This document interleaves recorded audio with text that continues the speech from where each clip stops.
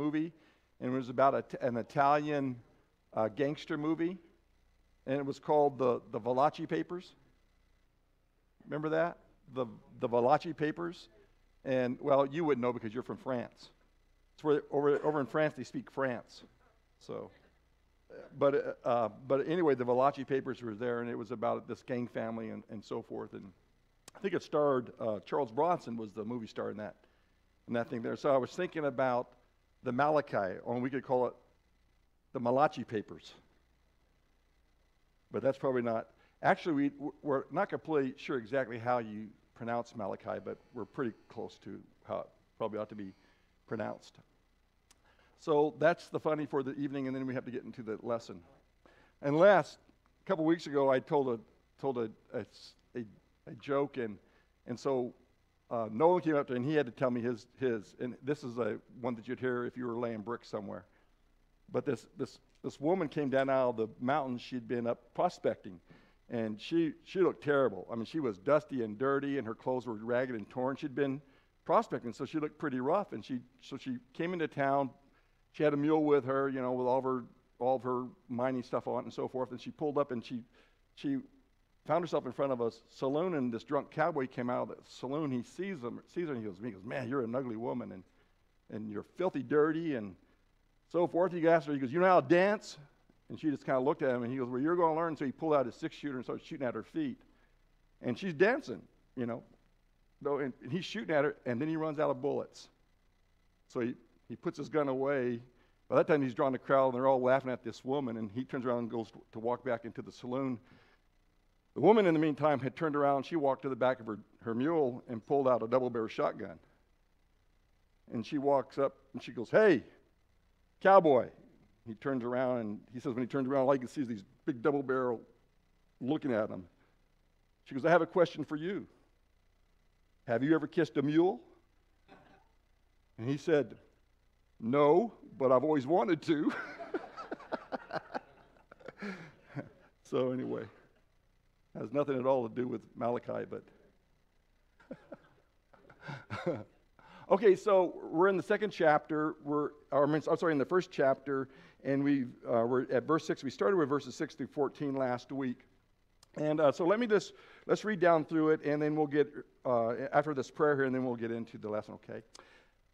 Our Father in heaven, indeed, you are so good to us and bless our lives in so many incredible ways.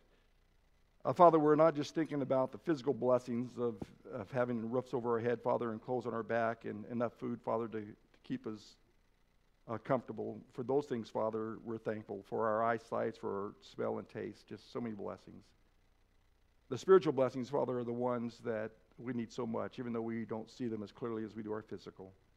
Uh, to know that you're constantly faithful to us, Father, and that your holy behavior is always constant, that your promises are ever true, and that your patience is unending. And for that, Father, we just uh, give you thanks. Thank you so much for your son Jesus that Malachi talks about later on, and for the promise that he has brought to this world and to our lives. We just give you praise. We ask that you would be with us this evening as we study.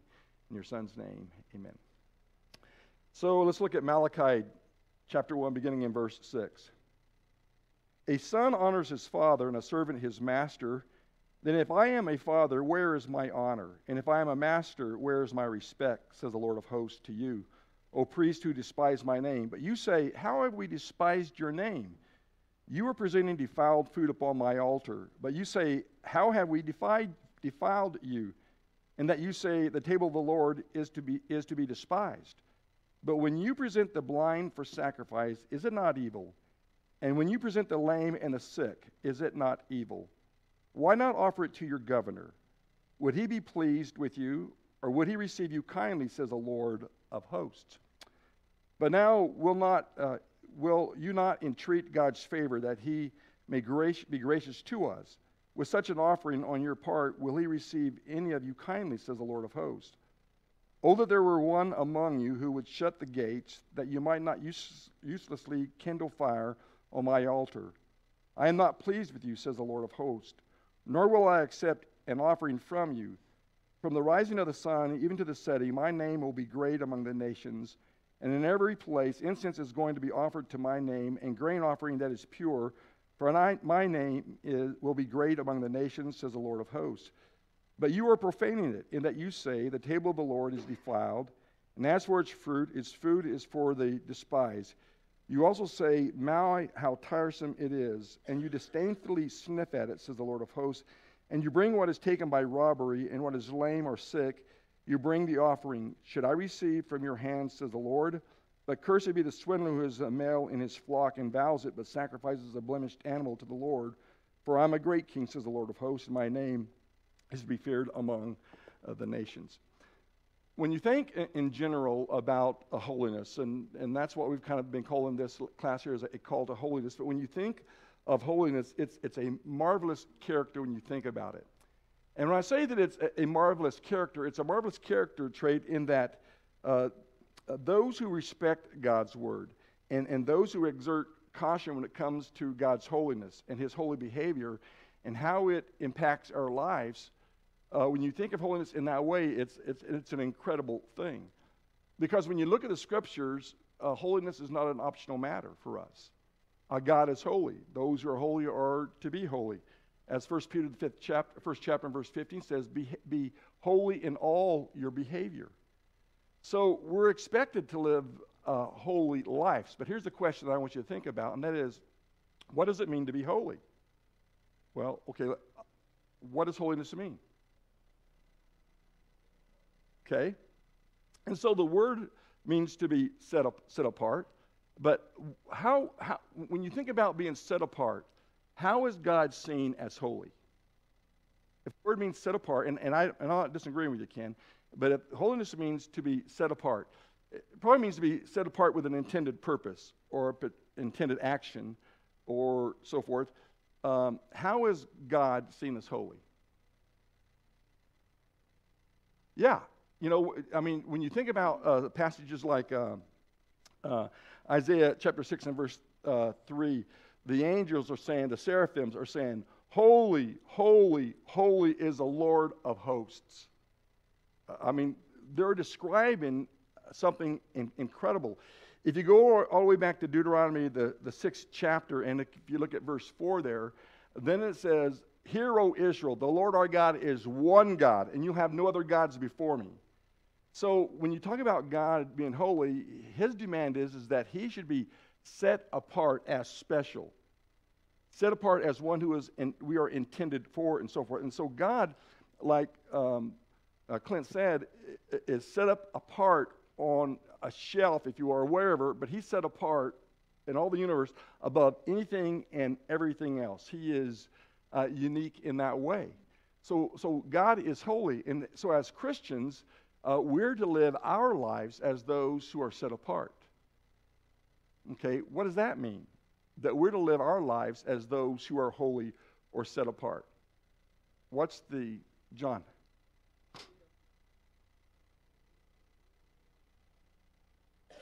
Okay? Okay. And so John says that we're to be immovable according to the circumstances. And what was that second part you said? Yeah.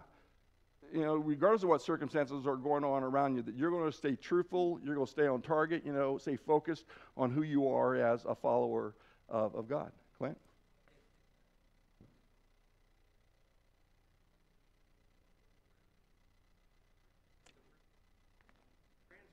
Mm-hmm. Yeah. Uh, Nolan.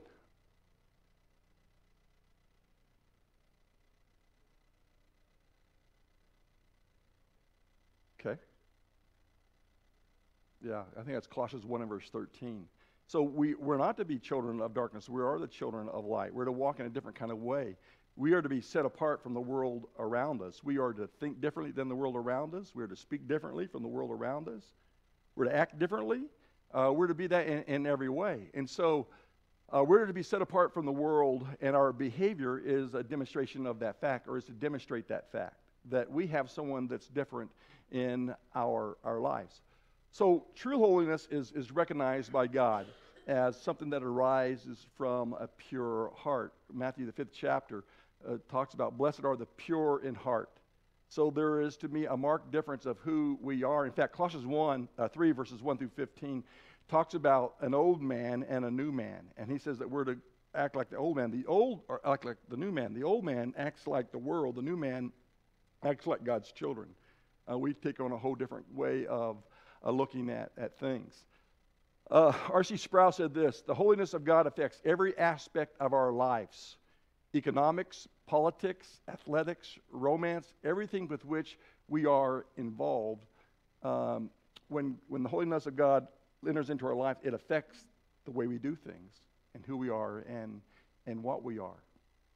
And that's a pretty, you know, that's a pretty strong uh, saying there. I was uh, thinking about, um, I was listening to a talk show host the other day. I was on my way into the office and so forth, and this talk show host was talking about uh, revival. I, I, it wasn't a religious show, just a talk show, but, but he was talking about church revival. And he said something that really struck me. He says, The church does not need revival, the church does not need bigger preachers. What the church needs, he says, is Jesus. And I thought, man, that guy hit that right, right, uh, the nail right on the head. It needs Jesus. It needs Jesus to be in our lives, you know. And, and by that, when you talk about Jesus needing Jesus, that means everything about him is, needs to become a part of who we are. In fact, that's one of God's goals in Romans 8 chapter verse 29 is that we be conformed to the image of his son. Okay, so we are, we are to become more like his son. He's not wanting a bunch of more Jesuses. He's already got one son named Jesus. He's wanting us as his children to take on the image or the characteristics and traits of Jesus in our lives. And when that happens, it will change everything about who we are as people in all those different areas. So we're not, you know, we're not, um, we're not pigeonholing or compartmentalizing our lives where we have our religious life and then we have our work life and then we have our school life and then we have our entertainment life and we have our politic life. And we know that our life that's in jesus is constant and that life affects all those areas in, in the same way. Uh, april. I think I, I, saw a couple hands so i'll just go let's go with nathan and then we'll go you. That? Because he had his hand up first. Okay. Not in this class but in most classes. Go ahead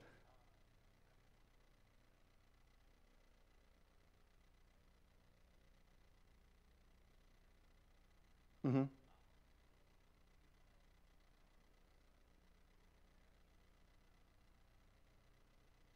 Uh-huh.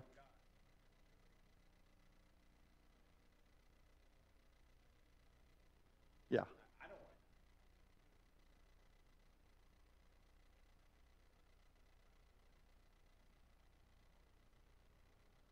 Mm-hmm.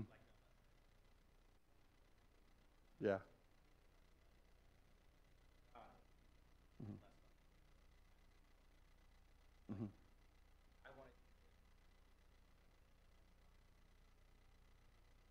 Okay. So for those of you who are watching on streaming and so forth, what Nathan said was what I already said. So he just said it took longer to do it, but he said the same thing basically. He agrees with me. okay. Oh. I can't remember all you said. Sorry. Go ahead. Oh,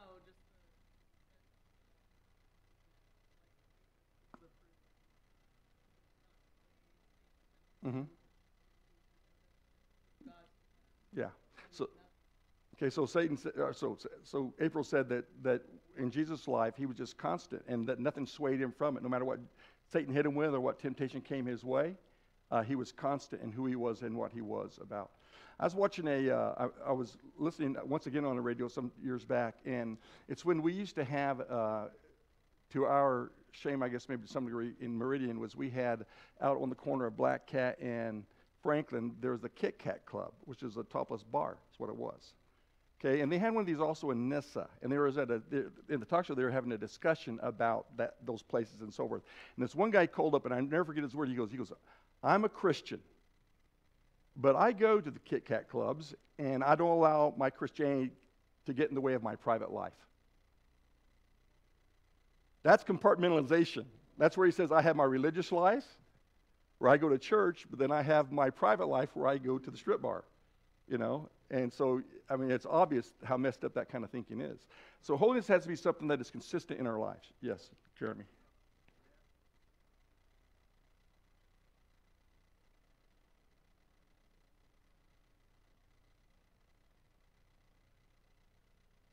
Yeah. right, right. Yeah. Yeah, so, so uh, uh, Jeremy said, he, he quoted Hebrews 12 and verse 14, which says, Without holiness, no one will see the Lord. And then he was saying, he goes, Does he think that that's holiness? And that he actually thinks he's really going to see the Lord by doing those kinds of things, which are just completely opposite of what God says about and what Jesus says about our morality and immorality, which oftentimes is linked to uh, sexual, sexual activities and so forth. So, anyway, holiness will affect every part of our, our lives. So, you would think that any, uh, that everyone would enjoy the beauty of which holiness brings. However, oftentimes it's just the opposite of that. And so, and so why would that be opposite? In my notes, I have down here that, you know, when you think about this kind of, uh, this kind of holiness as a virtue, some do all they can to oppose God's holiness at home, in schools, at work, in recreation. They oppose that. And so, why would we oppose that? Why would we oppose holiness in those things there. For instance, I mentioned last week, I talked about when we got in, in our valley here, we got in a big fight, or the, uh, the community got in a big fight over the Ten Commandments in Julia Davis Park. Remember that? They wanted those things out of there. So, what was it that they had a problem with the Ten Commandments in their park? What was there about that Ten Commandments there that bothered them so much? It's rules. Whose rules? God's rules. They didn't want, they didn't want God telling them, you know, uh, to not commit adultery. They didn't want God telling them not to lie or not to cheat or not to covet or, or that there is no other God before him. You know, they didn't want that, those things in, in their lives. And so uh, the reason why is, is, as I have behind me, is because holiness that we're talking about is built around the foundation of God's holiness and his standard. And so if you push his standard out, you leave a vacuum. And if you leave a vacuum, then guess what? Guess, get, guess who gets to, to fill up the vacuum? Well, we do. We get to fill up the vacuum. We get to decide what the rules are and the standards of living are. And that makes us feel better about things.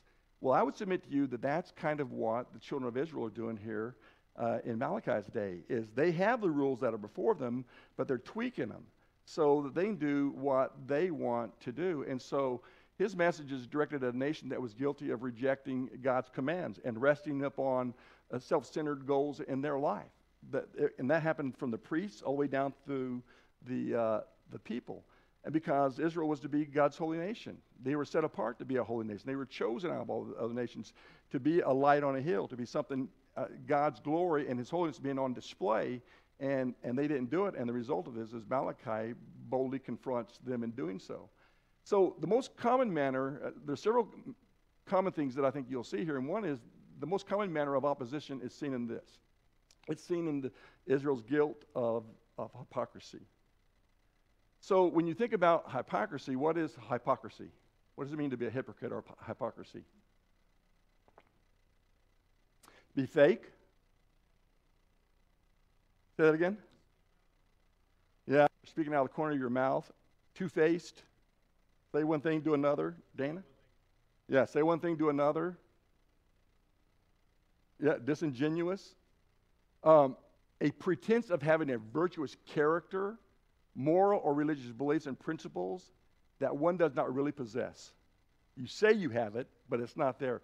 So think about what we just read here in the section from verses 6 down through 14, and think about the contents of that, and think about how they were doing one thing, but they're they were saying one thing, but they were actually doing another. Because let me ask you, were they not going to temple? Were they not going to the temple? Yeah. Were they not offering sacrifices? Yes. Did they not think they were being religious? Yeah. But what were they doing?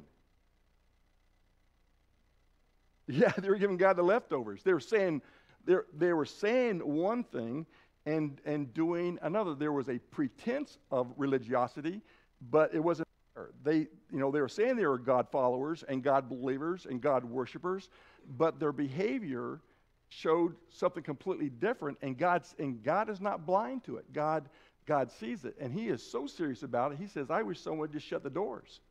I wish someone had the or the gates. I wish someone had the, the courage to shut the gates because I will not accept your incense. I will not accept your offerings." I mean, you can burn them all you want, and you can sacrifice you want, but I'm not taking any of it. I don't want it. because, because he knew it wasn't coming from a deep devotion uh, and, and a heart that was completely bought in. So Israel was guilty of hypocrisy. And the priest and the people were identified as God's favored nation. They sacrificed, they served in the temple, but they were hypocrites.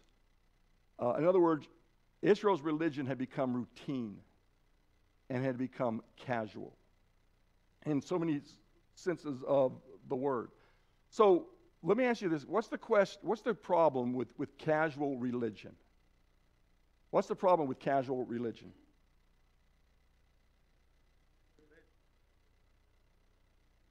Okay doing the best you can but not as well as you should. Maybe okay yeah and i think that's probably all of us in here would say i'd like to be more all in i'd like to be more do better with my life in terms of holy living and so forth okay uh, it's lukewarm, lukewarm, and we all know what Revelation 3 says about lukewarmness. John? Okay, eventually conform to the new standard. You know, you have a standard that God has erected, but then you start living by another standard, and pretty soon you conform to that standard, and pretty soon you start believing that standard is an okay standard, that it's an acceptable standard. Because God's not calling, it, calling them on it until now. Now He's calling them on them being very casual about how they were coming into service. Larry? Okay, we miss a blessing. You want to expound on that just a tiny bit? We miss a blessing in that.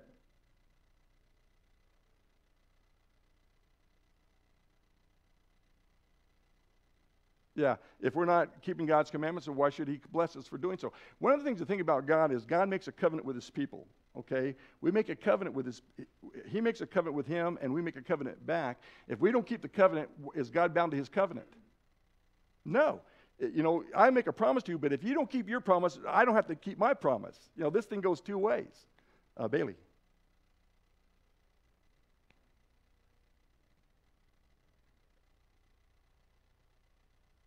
Yeah, he, sir, yeah, yeah. Why would we want to, why we, would we want God to be casual with us? Would we want God to go halfway with us, to get 50% with us? I'm kind of getting my sermon Sunday morning, but would we want that? And the answer is, was, of course not. It's rhetorical, obviously. Dana.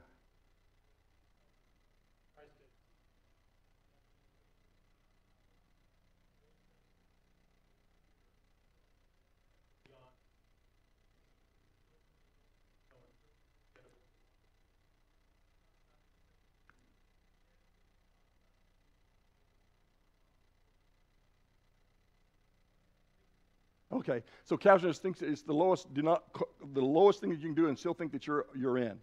You know, uh, he had a great, uh, he, what he said was, was really good. As you were thinking, I was thinking about uh, what Jesus said. He says, unless your, and, unless your righteousness exceeds that of the Pharisees, you will not enter the kingdom of heaven.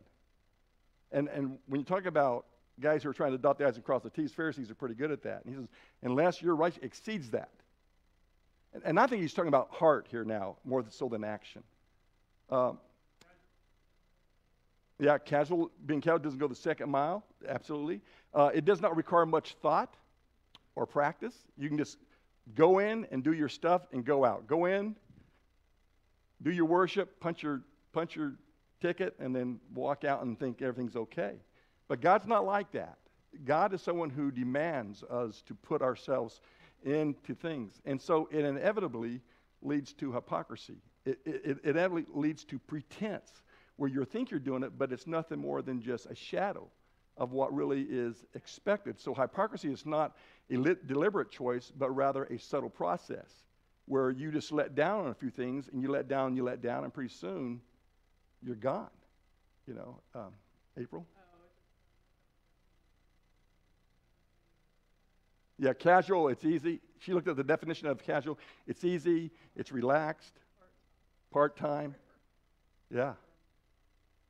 So, uh, how is uh, this hypocrisy seen in the text? Well, we've already, the, the text says that they're offering up uh, their lame, they're offering up their blind, they're offering up their sick, you know, uh, and they were looking at their own flocks and they're saying, We'll give you the best, God. Then they got in their flocks and say, Wow, this, this, this lamb here looks really good.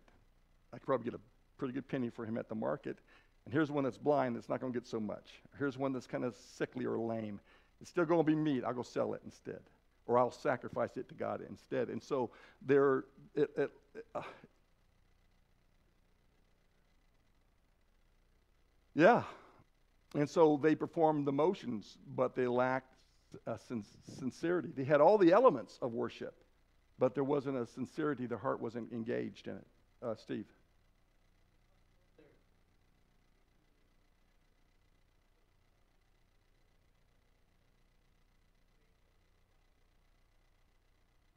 Yeah. Mm-hmm.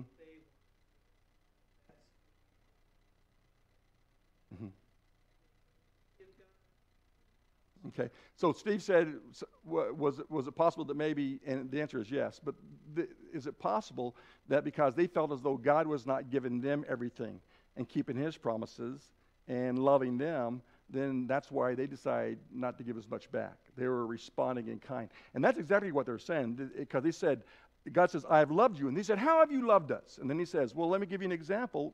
Malachi says, Here's an example of Esau and, and Jacob. Did not God not love Jacob and Esau he hated or, or, or gave preference over to, to Jacob?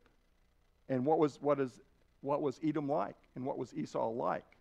And when they came back from captivity, who came back from captivity? When, when the rebuilding took place, who was it that rebuilt and it stayed rebuilt, or and who was it that could not?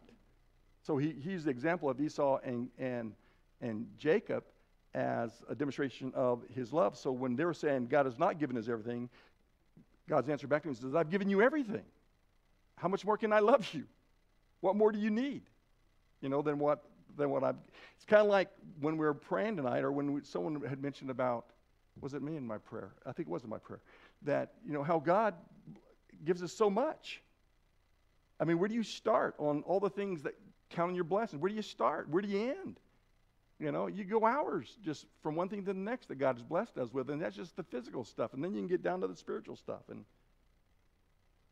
so, uh, hypocrisy corrupts. Hypocrisy of a few condemns or corrupts the souls of many outside the faith. Think about that. You know, if you call yourself a follower of God and you're a Christian, and then you don't walk that way, who, who all does that affect? You know, I mean, it really affects the outside uh, people. You know, um, during the during the uh, days of the conquistadors, you know, when they came in from Spain, and came in and went among the Indians and so there, you know, they had their priests that were telling them to live this kind of way and live that kind of w- way. But the soldiers who claimed to be quote Christians, Catholics, and so forth, they lied and they cheated and they murdered. And the Indian says, "Why would we want to live a life like that?" That's, a, that's all a facade. We're not going to live a life like that. We choose to we'll worship our own gods the way we have always, because we certainly didn't live like that. So, and so hypocrisy corrupts, and it hurts other, hurts other people. It corrupts many who are within the fold of salvation. And that's the case that you have here because that's why he goes at the priests so hard. Because who are the priests supposed to be? They're supposed to be the righteous. They're the keepers of the law. They're the teachers of the law. They are to be the examples of what holy living was to be about, and they were not. And the people were not blind to that. The people could see. In fact, I would submit to you that that's the way it always goes with the fall of a nation or even a fall of a congregation. It starts with leaders and, dri- and, and, and drips down to the membership. If the leadership does not have high standards, then why should we expect the membership to have high standards? In the, in the least of things, in the easiest of things. What's the easiest thing for a church, a Christian? What's the easiest thing for a, church, a Christian to do? Attend church is the easiest thing you can do as a Christian. And if you can't even get leaders to do that, that, what, what does that say to your members? You know, if we can be casual, you can be casual. You know, so I mean, that's just a simple little bitty thing compared to some of these super serious things that Malachi was talking about. The most common practices of, of this opposition many think it's impossible that they could be filled with hypocrisy, as were the Israelites, and oppose God's demand for respect, honor, and holiness. If that's so, then maybe we need to listen to what 1 Corinthians 10, verse 11 and 12 says. In fact, you know that verse of Scripture. He who thinks he stands, let him take heed lest he fall. Okay, so And he gives the example, and that follows the example of Israel falling in the, in the wilderness. You know, you know, people who expected to deliver right did not. And we'd say, well, that's because they were unfaithful. And, he, and Paul's answer to that says, well, you know, if you think you're standing, you better take heed lest you fall. You better really listen. And so when you look at Malachi, you know, you can say, well, I don't like, I don't like this. This is not us. Okay, well, then listen to it as a warning uh, and make application where needed. Three dramatic failings or flaws of Israel that led to their religious hypocrisy that would be sobering warning for us to take heed lest we become like uh, Israel. Israel failed to show God respect. Look at verse 6. A son honors his father, a servant his master. Then, if I am a father, where is my honor? And if I am a master, where is my respect, says the Lord of hosts? So, Israel failed to show respect, and God saw it. And he, and he saw it as it started, and it started with, with the priests. So, here's the greatest danger of routine religion it leads to a total loss, total loss of, of respect for God. In fact, it may begin there. I don't have a respect for God, and so I give him my leftovers. I give him what is easy. I give him what is casual, casual, what is relaxing, rather than truly given of ourselves. And so there's always a demand for respect or honor to be given to the one who is greater. If someone is greater, we give honor to that person. You know, for instance, um, without the showing of hands, you know, how many of you like Donald Trump? Okay, how many of you respect the office of the presidency? You see, the, you're talking about an honor, you know. Give honor to whom honor is due. You know, pray for your religious leaders, pray for kings and those who are in authority so that you can live a tranquil and quiet life. You know, and so, you know, honor is given to the one who is greater. There's a respect that is there. That's why when a police officer pulls you over, you should honor that person because he is a servant that's protecting our society, our, our community. You know, and that's why he shouldn't be called a pig and why he shouldn't be called rotten names, you know, and that's why he should be, he, he or she should be honored. You know, it's just that kind of a thing here. Well, God says, if I am a father, you know, if I'm a master, then where is my respect? Give me my respect. I have certainly deserved it. So, where is my respect? So, the saddest thing about this was they saw nothing wrong in what they were, were doing. Uh, if you look at the very, but you say, How have we despised your name? Where's my respect? How have we despised your name? These guys don't even know. They don't know what they've done. They didn't see that their service to God was an insult. They saw no evil in it. And yet God says it's, it's all evil. But when you present the blind, verse 8, but when you present the blind for sacrifice, is it not evil? When you present the lame and sick, is it not evil? I mean, we think it being casual, but God says ah, that's evil. You know, and it's only a sacrifice. What's the big deal? It's only a, it's only a lamb. It's only a goat. It's only a pigeon. It's only a sparrow. It's only an oxen. What's the, what's the big deal? You know, and, well, then, of course, I got, then I started meddling. And I said, eh, well, it's only a song. It's only a prayer. It's only the Lord's Supper. It's only giving. Well, not to God, it's not. It's not only to Him. I mean, it's super serious uh, it's super serious to how God uh, looks at things. Uh, George? We're unsatisfied with our inside, but the people see our outside. Okay. George says we can walk around being satisfied with our inside, but the people see our outside. And yeah, and, and, and here's the problem with what is behind me is God sees both. he sees both, you know. So, do we show God the respect that is due him? How can Christians today show proper respect to God? What's that? Okay, put it in first. Larry? I'd say faithful in Bible study, faithful in prayer, faithful in fellowship, faithful in giving. Okay. Faithful in Bible study, faithful in prayer, faithful in fellowship, and faithful in our giving. You know, that's one way to do it. Anyone else? Abraham says, Give him the glory. Prompt obedience to God's will.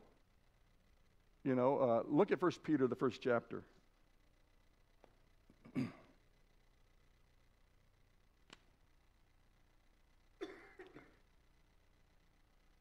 Therefore, gird your minds for action, keep sober in spirit, fix your hope completely on the grace to be brought to you at the revelation of Jesus Christ.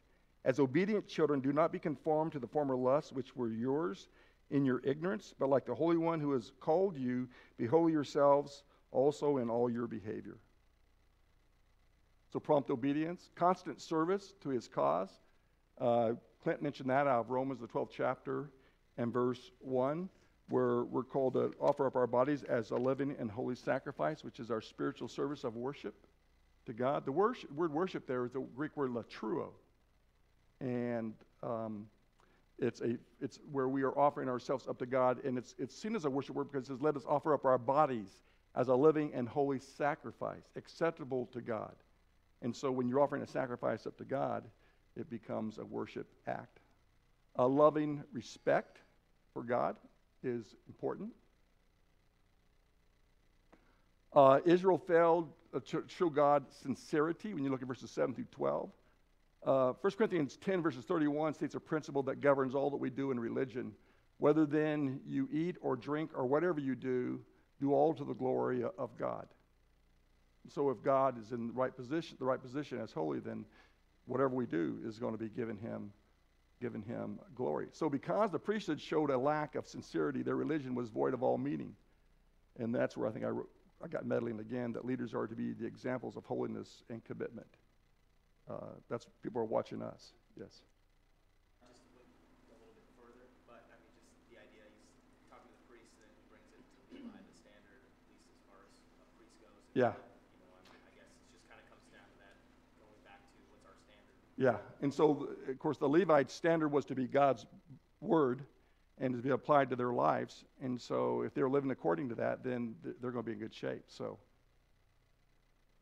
um, they failed to show sincerity. It was a second rate worship with leftovers for God, as I think Nolan mentioned that word leftovers for, for God.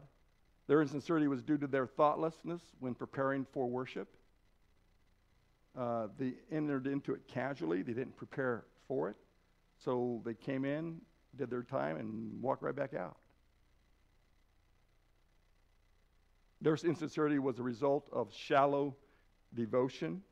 Um, again, when you look at uh, when you look at verses uh, eight and eight and nine. Um, verse 9, but now will you entreat God's favor that he may be gracious to us with such an offering on your part, will he receive any of you kindly, says the Lord of hosts? It's, it's kind of rhetorical, isn't it? You think he's going to accept that? You think he's going to receive you kindly? You know, and the answer is, is no. So there was a shallow devotion that is there. Um, it was mechanical. Verse 10 Oh, that there were one among you who would shut the gates, that you might not uselessly kindle fire on my altar. I'm not pleased with you, says the Lord of hosts, nor will I accept an offering So they were mechanical. They went in and they lit the fires. They did the slicing of throats. They did all that, but it was just mechanical. And it was void of, their, of having their spirit behind it. Uh, verses 11 tell, and 12 says that they were casual in regard to God's to how they treated God's name. My name shall be called great and holy. I'm a great God. I'm a king above all kings. You know, so uh, they were disregarding or being casual about his, his, his name. So Christians must be aware of this danger. As we assemble to worship, we need to examine our hearts to see that sincerity is always present. So, does this bum you guys out any at all? Uh, but, okay, does me, you know, but, but I had to stop, you know, I look at that and say, okay, this is real time, real stuff happening. So it causes me to stop and ask myself, am I preparing myself? Am I ready? When I go and meet God on Sunday morning, am I offering my best? When I rise up in the morning and I have my prayers with Him, am I offering my day to Him? Am I, am I, am I going to concentrate what I'm going to give Him on this day here? You know, and you see what I'm saying? And uh, maybe that is even exploded more to be very honest, I think that worship is nothing more Worship, corporate worship is nothing more than an extension of what you've been doing all week long. And if God has not been in your life all week long, I doubt to be able to walk in here and flip a, a switch on and say, now God's in my life. You know, and that's what these Israelites were doing. They were, they, God wasn't in their lives the rest of the week, and so he wasn't at, when it came down to assembling with him. And I just think that we need to really think about that as, as Christians. They failed to show sensitivity. How did the Israelite worshipers look their, at their worship? They said, oh, My, how tiresome it is. My, how tiresome it is. How did they approach the worship to God with contempt? They disdainfully, they scornfully sniff at it. I can't. You, there are so many senses being triggered in an Old Testament worship assembly. Your nose could smell the incense being burned. Your nose could smell the flesh being burned, the hair on the animals being burned. Your ears could hear the lowing of the oxen and the bleating of the sheep. You would hear the best singers that temple had to offer, the best orchestra the temple had to offer. Maybe not this case, because I think by, when they came back from the captivity, I don't think the orchestra ever came back. But they were they were bored, and how, how anybody could be bored with that?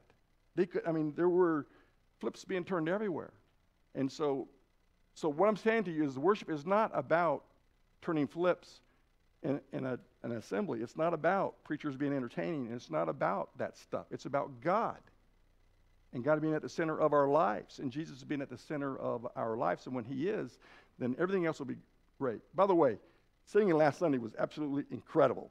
It was so incredible. Uh, there were a number of times where I quit singing and just listened and thought, "Wow, this is this is so good."